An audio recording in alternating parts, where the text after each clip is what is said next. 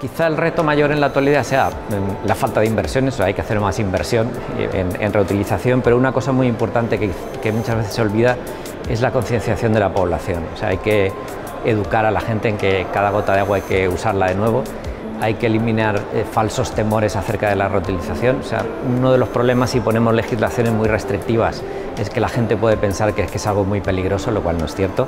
Tenemos tecnología para fabricar cualquier tipo de agua a partir de cualquier tipo de agua. Podemos hacer agua potable.